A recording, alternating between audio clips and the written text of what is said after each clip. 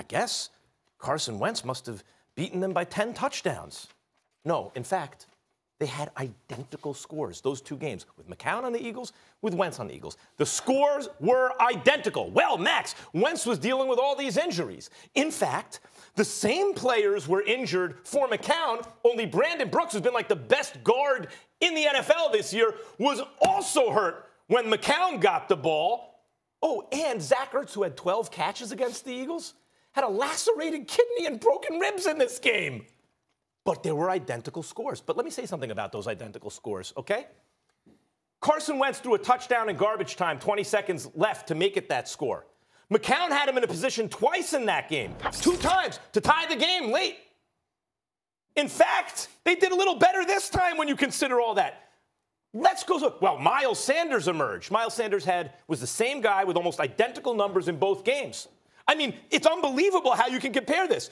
Carson Wentz had four turnovers in that game, two interceptions, two fumble recoveries. How about how about uh, McCown? Zero turnovers. Carson Wentz had a 75 something quarterback rating. McCown almost a 95. Car- if Carson Wentz, if he can't outplay McCown against the same team, this is your savior. As I've told you, he got fat against the NFC East maybe the worst division in the history of football. But here we see that the team performs, if anything, better with a back, a 40 year old backup quarterback. Go ahead, Dan. I'll be accepting my apology, I guess, at the end of the segment. I'll let it, Dan go last. Your argument is a waste of my time in this regard. You see, what happens is, is that Max repeatedly tries to change narratives. Like, for example, you're basically saying now Carson Wentz is injury prone, which nobody can deny. And you point to a few other things. But what you forget to mention is how you highlighted on many occasions how he was coached differently than Nick Foles. We bring up the injury to DeSean Jackson, to Nelson Agholor, to Alshon Jeffery, and ultimately to Zach Ertz in the Dallas Cowboy game. But you neglect to remind our audience how you once said players were dropping passes because they didn't have the same relationship with Carson Wentz than they did with Nick Foles. You forget to mention that. Okay, so all I'm trying to say that makes absolutely no sense to folks who watch football. Like suddenly you'll drop passes because this guy is hitting you in the hands, but that other guy was hitting in the hands. I'm gonna make sure I catch it for him. That don't make sense to anybody. In the end, what it comes down to with Carson Wentz is I'm looking at a guy that threw 4,000 yards, only threw seven interceptions on the entire season. Played every game during the regular season, got to his first playoff game, and the kind of injury he suffered, anybody could. To Jadeveon Clowney, again, I want to make sure if he's watching, I'm not calling him a dirty player, but that was a dirty play.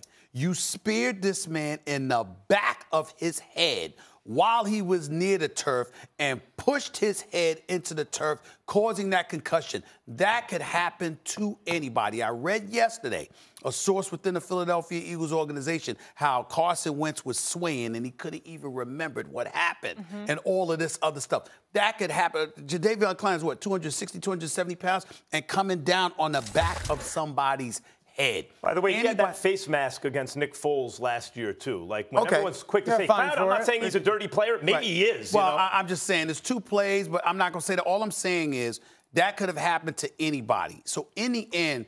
Forget the play on Sunday. And again, we're not going to argue about the durability because the durability clearly is an issue with Carson Wentz. He's got to better protect himself. But in the end, Look at what this man was working with. Yeah. All year long. McCown, McCown worked with the same thing. I want to add to That's one thing one to game. Stephen A's point. Stephen A said uh, that Carson Wentz was the only player on Philly. He mentioned that he played all 16 games. He was the only skill position player to actually play yeah. all 16 oh, games way, on that team. And Molly, can Wentz I ask was the only me, one who made let me say this to Max. Let me say this. Let me say this to Max before Dan. Let me say this to Max before I give it to Dan.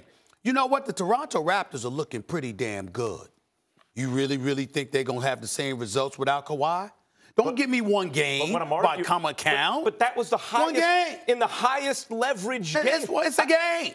It's a game with nothing to lose because you're a 40 year old that was How? that was pulled off. Was he coaching high school at the time or yeah, something? He was working you here. pulled off and working here. If you, pulled if him you off guys one game. accept this evidence against the same team under the same circumstances with the same result, only Wasn't a better performance, then there's no the evidence that will convince Wasn't you. The same okay, first of all, for you to come on and say the best ability ability is availability, but then say, you know what, shot to the head, I'm not going to hold that against him is weak because you're undercutting him initially off the bat going, he wasn't available. But I'm not going to hold it against no, him because it was durable. It's weak. No, no, it's not it's weak. weak. No, to, no, no, you, no, no, it's not weak. He's either tough. Say either say that you think the concussion is part of the lack of durability or whatnot, and it's it's a Carson Wentz thing, or don't mention it at all because you can't say his availability is an issue, but then say, you know what, okay. it was a shot okay, to the watch head. this. His So it's availability is an issue. so it's a weak move. Second of all, no, no, it's- it's an issue. It's a weak move. Second of all, for you to go back to that initial Seahawks game, the reason that the prop. It's just because it's the box score, Max. You have to actually watch the football games because you can't just look at a box score and say it's the end result. That first Seattle game was the first game with all the young puppies around him. That's when they went through all those injuries, actually made the tape that became big in Philadelphia with all the issues that those skill players were presenting off of that game. So you mentioned the turnovers. That's also the last game the kid turned the football over was that game. So just to look at the box Who's score the and go, I'm sorry? Carson Wentz. Okay. Just to look at the box score and go, well, Josh McCown performed the same way. You mentioned that Josh McCown got this team into the red zone three times on Sunday, yet three field goals.